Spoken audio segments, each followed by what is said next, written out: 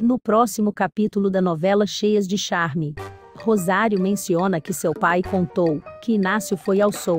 Inácio elogia o Sou e Rosário fica contente. Inácio elogia Rosário como cantora e se orgulha dela.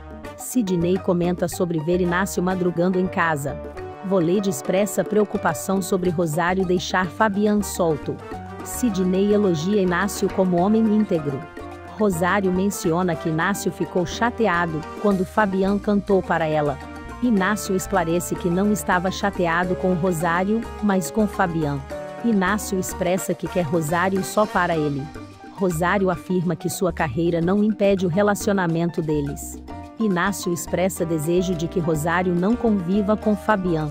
Rosário garante que a carreira é sim, mas Fabian não. Inácio insiste que não quer Rosário perto de Fabian, preocupado com a história entre eles. Isadora destrói cozinha e deixa recado para Cida arrumar. O descobre que Samuel passou a noite fora. Ariela aconselha Isadora não brigar com Conrado antes do casamento.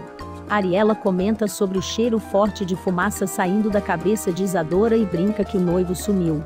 Isadora brinca de forma sarcástica sobre o sumiço do noivo e sugere que Ariela deveria fazer aeróbica. Ariela especula sobre o sumiço do noivo devido ao escândalo do Sol das Empreguetes e o suposto ciúme dele em relação a Cida.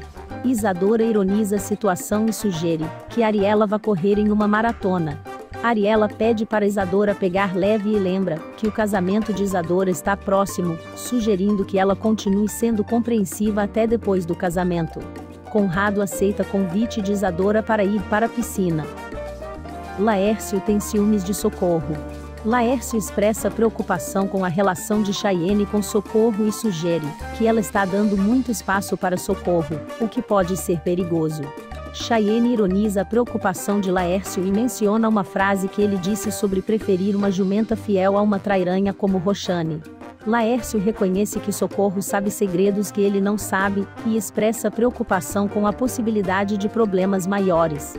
Chayenne ironiza novamente, sugerindo que Laércio está com ciúmes. Laércio explica que está preocupado com os problemas que Chayenne teve com domésticas no passado e teme problemas com Socorro. Chayenne concorda sarcasticamente, mencionando uma possível hecatombe provocada por Socorro seguindo as ordens de outra pessoa. Laércio sugere que Chayenne é essa outra pessoa, que dá ordens a Socorro. Chayenne ironiza novamente, chamando Laércio de urubu com ciúmes de Curica.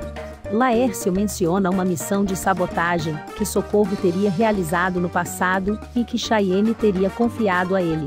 Chayenne ridiculariza a situação, chamando Laércio de urubu ciumento. Laércio argumenta que se Chayenne tivesse confiado a missão a ele, as coisas teriam sido diferentes. Chayenne sugere que esse não era o plano dela, e que ela tem um plano, mas não revela imediatamente. Laércio aceita que Chayenne faça como quiser, mas avisa sobre as consequências. Rosário se despede do buffet. Penha descobre que o Igia foi para o hospital. Médica avisa ao Igia que ela está com apendicite aguda.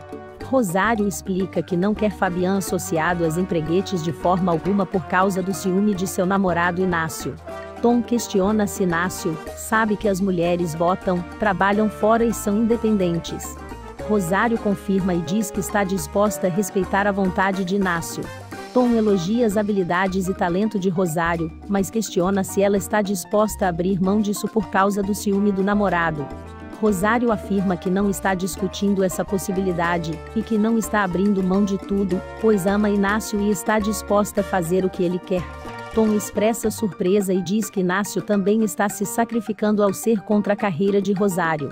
Rosário afirma que isso não é da conta de Tom e que sua relação profissional é com as empreguetes, deixando claro que Fabian está fora dessa história. Penha visita o Igia no hospital. O Igia está sofrendo com fortes dores abdominais há dias e hoje piorou. Alejandro foi procurar Samuel, que se envolveu em problemas novamente. Penha nota que a mão de Uigia está fria e pergunta sobre o que está acontecendo. O Igia menciona que o médico suspeita de apendicite supurada. Arquejo comenta que a situação já está assim há semanas e que o Igia está sentindo muita dor. O Igia expressa medo da gravidade da situação e menciona uma amiga que morreu de apendicite. Penha tenta tranquilizar o Igia e garante que vai cuidar de tudo. O Igia agradece a presença de Penha e menciona que é reconfortante ter uma cantora cuidando dela. Penha agradece o apoio de Igia no passado e pergunta se a dor voltou. O Igia comenta sobre a falta de notícias de Samuel.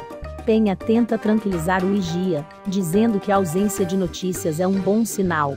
O e Penha se preparam para a cirurgia. Cida aparece na festa da piscina e gera climão.